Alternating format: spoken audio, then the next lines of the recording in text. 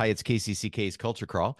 I'm Dennis Green, and my guest today is Tech Sergeant Tyler Kennamer from the U.S. Air Force Band of Mid America, uh, based in Illinois, doing a uh, Iowa swing here over the next couple of weeks. Tyler, welcome. Oh, thanks for having me on. Appreciate it.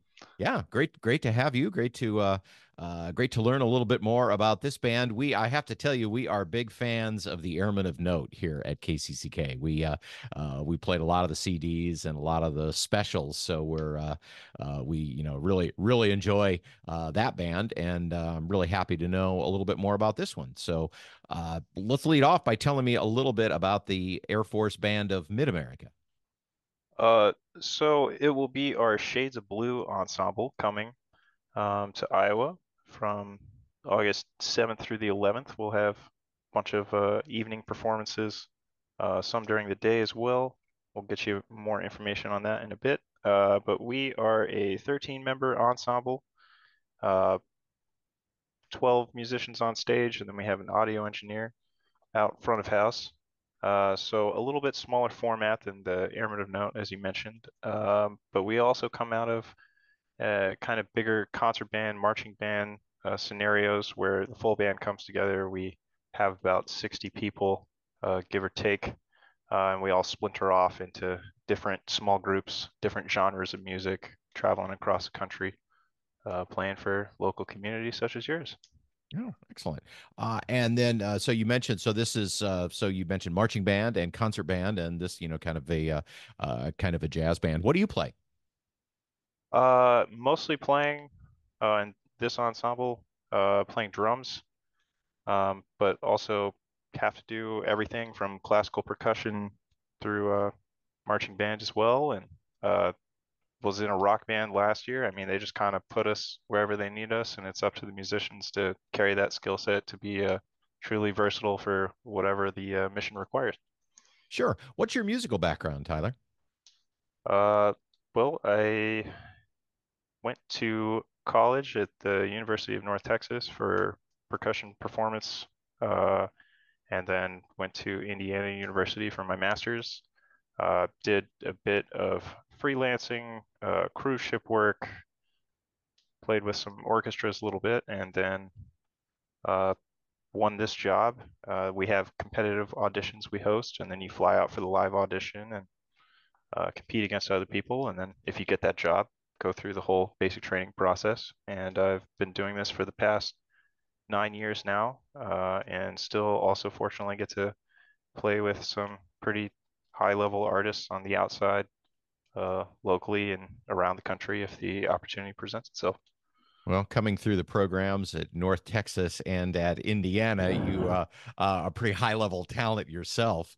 Um, tell me about some of your experiences on the road with, uh, you know, with with this the Shades of Blue ensemble or with the larger band. You mentioned getting to play with some uh, pretty great folks. What are some of those memories? Um, so I've only been stationed here for about two years at Scott Air Force Base. We're in uh, Southern Illinois, and the jazz band uh, just recently started up again. Uh, after COVID and everything, uh, we weren't able to hire as many people during that time. So as people retired, the band's kind of shrunk. Uh, we're getting back to full size again. Um, so this is probably only our second or third time out on the road. Uh, maybe started back in April, I want to say. Uh, so we haven't actually gotten to play in this format a whole lot together. So it's it's fun to be getting back into the swing of things. Uh, I think one of the one of the cooler moments that I've had though uh, was several years ago playing at the International Trumpet Convention uh, with the Air Force Academy Band, Falconaires Big Band um, and got to do a, a, concert with Randy Brecker.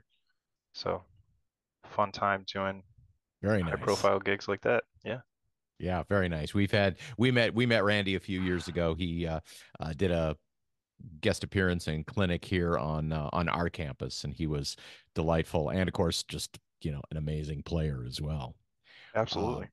You're going to be doing several dates beginning the 7th of August in the uh, in the Iowa area. You're going to be hitting uh, Muscatine, Waverly, Dubuque, um, uh, University Park, and the closest one for most of our listeners here at KCCK will be uh, Saturday the 10th at the Herbert Hoover Historic Site in West Branch. Is this part of a larger summer tour, or are you just hitting the road for these gigs and then going back and doing something else as time goes on? Uh, yeah, we're just we're just out for a few days, uh, and then coming back to home base, splintering out into different groups after this.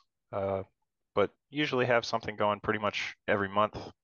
And uh, if you check our website, uh, afbandtix.com, that's T-I-X, um, that could give you ticket information. Obviously, all of our concerts are uh, free to the public. Um, let you know what's coming up next. And also, if you search for us on Facebook at USAF Band of Mid America or Instagram at Band of Mid America, uh, can give you more about not only what our ensemble's doing, but uh, the whole band of Mid America at large. Tell me a little bit about the repertoire on this tour for the jazz band. Um, so we don't always have a vocalist with us, but for this tour, we're fortunate enough to uh, steal another vocalist in in the across the Air Force uh, from the Academy band.